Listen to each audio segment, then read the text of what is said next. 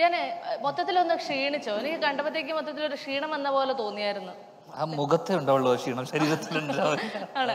അങ്ങനെയാണെങ്കിലേ ഇങ്ങനെ ഇങ്ങനെ നമ്മളൊരു സിനിമയ്ക്ക് വേണ്ടിയിട്ട് ഭയങ്കരമായി വണ്ണം കുറയ്ക്കണം എന്നൊക്കെ പറഞ്ഞു കഴിഞ്ഞാൽ ഞാൻ സ്വീകരിക്കുമോ അതോ ആ സിനിമ വേണ്ടെന്ന് വെക്കുമോ എന്തായിരിക്കും ചെയ്യാ? അത് ഞാനത് കഴിഞ്ഞ ദിവസം ഒരു സ്ഥലത്ത് പറഞ്ഞായിരുന്നു.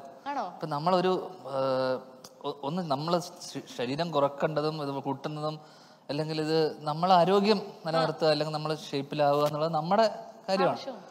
അപ്പൊ എനിക്ക് എപ്പോഴും തോന്നുന്നു ഈ പറഞ്ഞ പോലെ നമ്മുടെ ശരീരം ഇപ്പൊ നടനെ സംബന്ധിച്ചിടത്തോളം അയാളുടെ ശരീരം ഭയങ്കര ഇമ്പോർട്ടന്റ് ഒരു നടനെ സംബന്ധിച്ചിടത്തോളം.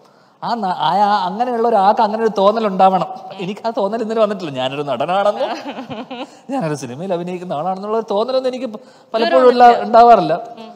പിന്നെ എനിക്ക് തോന്നി ഒരു നല്ല ഇനി തടി കുറക്കുന്നത് ഇപ്പം ഇനി അടുത്ത തവണ ഞാൻ തടി കുറച്ചിട്ട് വരുമ്പോൾ ആ ചെയ്യുന്ന ഒരു സിനിമ നല്ലൊരു സിനിമയായിരിക്കണം. ഒരു നിർബന്ധം അല്ലെങ്കിൽ ഒരു ആഗ്രഹം എനിക്കുണ്ട്. അപ്പം ഞാൻ ചേട്ടൻ എന്നോട് ഇങ്ങനെ കരി ഒരു കഴിഞ്ഞ വർഷം ഒരു സംഭവം സിനിമയെക്കുറിച്ച് പറഞ്ഞപ്പോൾ ചേട്ടൻ എന്നോട് പറഞ്ഞു നീ തടി കുറയ്ക്കാൻ വല്ല പ്ലാനും ഉണ്ടോ? എന്ന് ചോദിച്ചു. ഞാൻ പറഞ്ഞു ഇങ്ങനെ ഒരു. അപ്പം എന്നോട് പറഞ്ഞു നാളെ ഒരു നല്ല സിനിമ വല്ലതും വരുവാണെങ്കിൽ അതിനുവേണ്ടി തടി കുറച്ചോ? അങ്ങനെയാണെങ്കിൽ അതിനൊരു ഇതുണ്ടാവും. അല്ലെങ്കിൽ നീ തടി കുറക്കണമെന്നില്ല കേട്ടോ എന്ന് പറഞ്ഞു. അപ്പൊ ഞാൻ പറഞ്ഞു ഇനി നല്ലൊരു സിനിമ ഉണ്ടോന്ന് അറിയില്ല. ഇപ്പൊ തൽക്കാലം ചെയ്യുന്നതൊക്കെ അത്യാവശ്യം ആവറേജ് സിനിമകളൊക്കെ ഉള്ളൂ. അങ്ങനെയാണ് ഒരു കാര്യം ചെയ്യും നല്ലൊരു സിനിമയായിട്ട് ഞാൻ വന്നാലോ എന്ന് പറഞ്ഞിട്ടാണ് ഞങ്ങൾ ആദ്യമായിട്ട് കഴിഞ്ഞൊരു ആറ് മാസത്തിന് മുന്നേ സംസാരിച്ചത്. അപ്പോ ആ സിനിമ ചിലപ്പോ ഉടനെ തന്നെ ഉണ്ടാവും. അതിന് വേണ്ടിയിട്ട് ഞാൻ തടി കുറച്ചാലേ ആ സിനിമ നടക്കും. എന്നും ചേട്ടൻ പറഞ്ഞിട്ടുണ്ട്. നടക്കുന്നില്ല. അല്ലെങ്കിൽ എന്നെ പുറത്താക്കി വേറെ ആൾ എടുക്കുന്നു പറഞ്ഞിട്ടുണ്ട്. പറഞ്ഞിട്ടുണ്ടോ അങ്ങനെയും പറഞ്ഞിട്ടുണ്ട്. അങ്ങനെ ഒരു സീരിയസ് ആയ ചേട്ടൻ ഇടയ്ക്കൊക്കെ ജീവിതത്തിൽ ഉണ്ടാവാറുണ്ടല്ലേ? നമ്മൾ കാണുന്ന നടനെ പുള്ളിക്ക് ആവശ്യമായിരിക്കാം. അതെ അതെ. എന്താ? അത് കറക്റ്റ് അല്ല അത് കറക്റ്റാ അങ്ങനെ തന്നെ. ഞാൻ മികച്ച ഒരു നടനാണ്. ഞാൻ മികച്ച ഒരു നടനാണ്. പോരെ? ജീവിതത്തിൽ. അപ്പോ അപ്പൊ അങ്ങനെയാണ് അങ്ങനെ ഒരു സിനിമ സംഭവിക്കുന്നുണ്ടെന്നുള്ളതാണ് സത്യം. അങ്ങനെ സിനിമ ആ അതൊന്നും ഞാൻ പറയില്ല.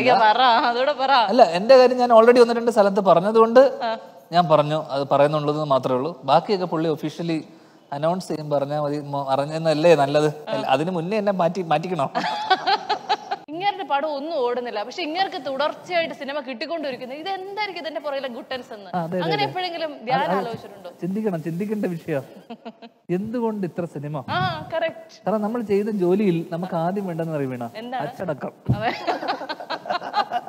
എനിക്ക് നന്നായിട്ടുള്ളതും അത് തന്നെ അച്ചടക്കം. അച്ചടക്കം. നമ്മൾ ആരെയും വെറുപ്പിക്കാതിരിക്കുക. ഇത് രണ്ടും ചെയ്യാതിരുന്നതിന് നമുക്ക് സിനിമകൾ വരും. പലരും എന്നോട് ചോദിക്കുന്നത് ശ്രീനിവാസന്റെ മോനായതുകൊണ്ടല്ലേ ഇത്ര സിനിമ? അങ്ങനെ അങ്ങനെ ആയതുകൊണ്ട് ആർക്കും ഒരു- സിനിമയും വരൂലെന്നേ